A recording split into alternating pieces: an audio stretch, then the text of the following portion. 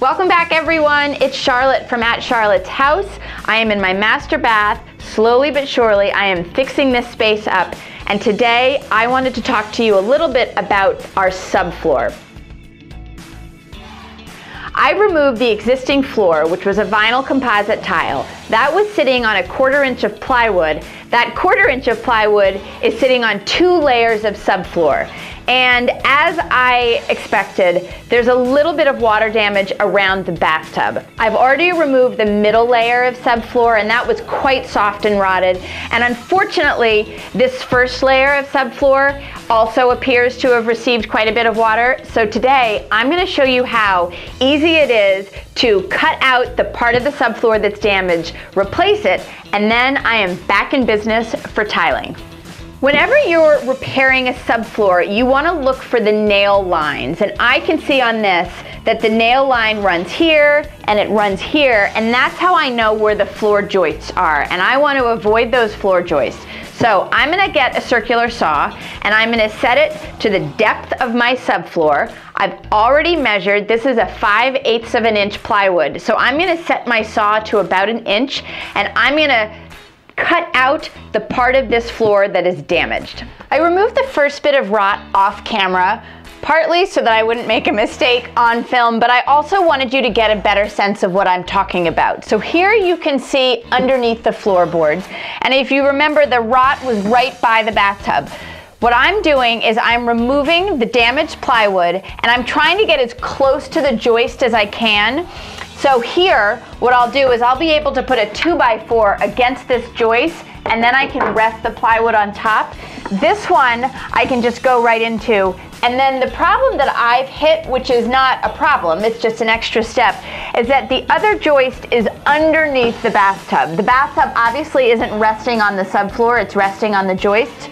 I'm gonna have to create some cross beams between this joist and the joist that's underneath the bathtub, and then I'll have something to drill my plywood on top of. I'm gonna remove this part of rotted plywood. Now that I know where the joist is, I can just cut right along that joist line, and then I'm gonna try to get as close to the bathtub as I can to remove, like I said, all of that rotted subfloor.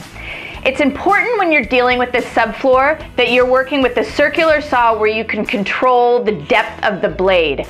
I don't know what's under here. I know from peeking my head down that there's a water line somewhere over here. A lot of times you're gonna find electric, so you can't go after a subfloor with something like a jigsaw because it'll go too deep and you don't wanna hit anything.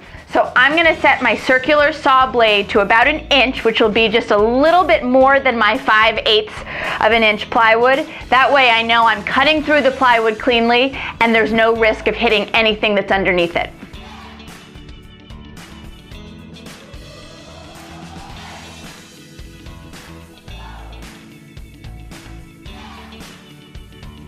So I wasn't able to get a saw into this little piece here, but it's so rotted that honestly, I think the plywood's just gonna break. My next step is gonna be to measure the distance between this floor joist and the floor joist that's underneath the bathtub. And then I'm gonna try to retrofit some cross beams so that I have something to drill my plywood down onto. It's a little messy, so it's sort of hard to see what I'm doing, but I've measured and cut another joist. I've added pocket holes and I've already screwed in the screws just a little bit. So now I'm gonna hammer it in place and test to make sure it's level before I screw it into the joists.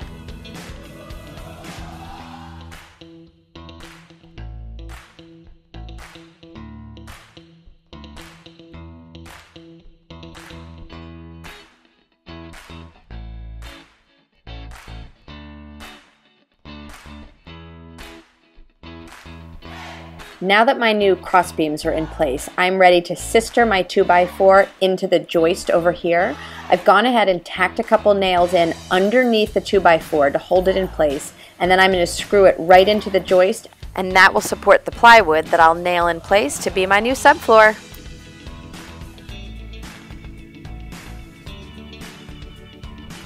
I'm using my circular saw to cut a piece of plywood. This is 5 eighths of an inch thick and I'm gonna go ahead and put this on top of the beams and the two by fours and then nail it in place and I'm done.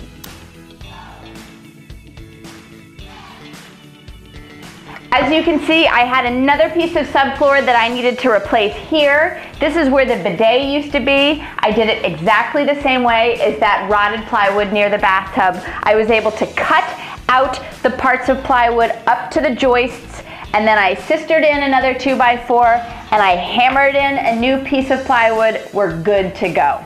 I am officially sitting on a bathroom with patched and repaired subfloor. I am ready to start tiling. Tune in for my next video. I will show you how I'm gonna put down some mortar and some concrete backer board, lay my tile. It's gonna be so good.